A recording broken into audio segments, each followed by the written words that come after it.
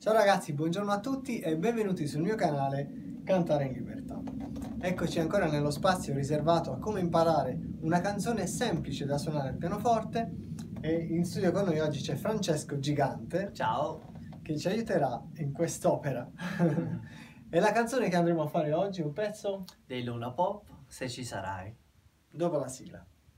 Cantare, cantare, cantare in libertà.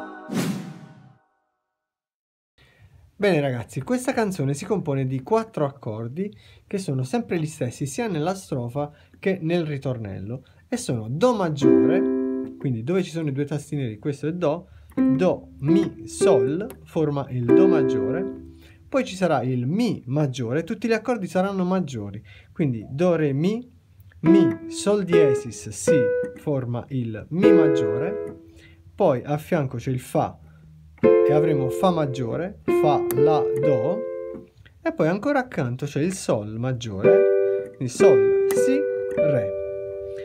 E il brano farà così. Se ci sarò, se ci sarai, saremo come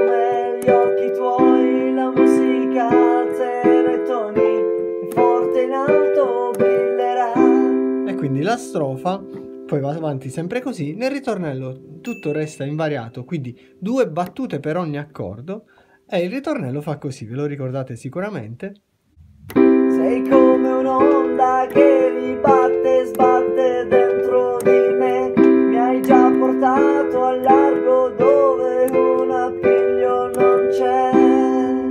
così via, la canzone si ripete sempre uguale, con strofa e ritornello, poi alla fine il brano sale di un tono, significa che tutti gli accordi si sposteranno più su di un tono, quindi quello che era il Do diventa Re maggiore, Re, Fa diesis, La, quello che era Mi maggiore diventa Fa diesis maggiore, quindi Fa diesis, La diesis, Do diesis, poi ci sarà ancora il Sol, che prima era Fa, adesso è diventato Sol, e il Sol diventa La maggiore, La, Do diesis, Mi.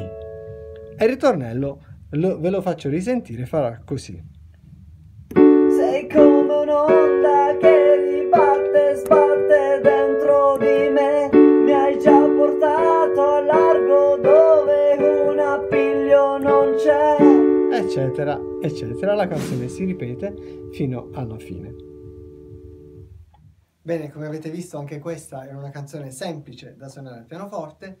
Io ringrazio Francesco Gigante per essere stato qui con noi e vi lascio in descrizione come sempre la diteggiatura per entrambe le mani e in più due link su come imparare degli accordi al pianoforte di puntate sempre presenti su questo canale.